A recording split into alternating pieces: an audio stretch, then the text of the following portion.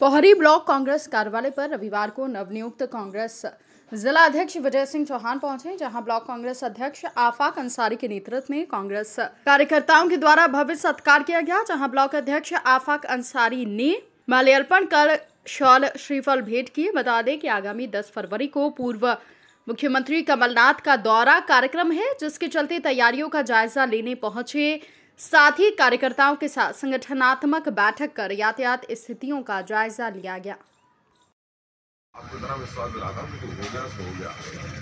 अब अगर इस तरह की शासन प्रशासन है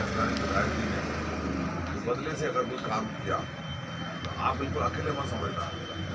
जिस दिन भी खबर करूँगा जब जब भी खबर करूँगा मैं आपके साथ बहुत बढ़िया मुख्यमंत्री जी कमलनाथ जी पौड़ी विधानसभा में कदम रख रहे हैं। संगठन की क्या कुछ तैयारियाँ हैं?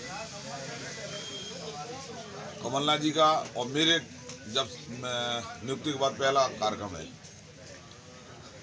कमलनाथ जी का कार्यक्रम पहले निर्धारित था।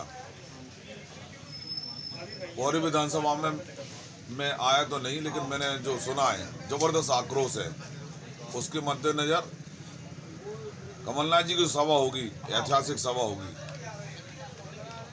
उनको सुनने के लिए, उनको देखने के लिए लोग लालायित हैं। हमारे कार्यकर्ता भी जो कल तक दबे समय थे, सड़क पे हैं एक एक लोग एक एक व्यक्ति से संपर्क कर रहे हैं। एक आदमी से बात करते हैं, सौ आदमी तैयार होते हैं आने के लिए। तो हमें उम्मीद है, ऐतिहासिक सभा हम करने जा रहे हैं।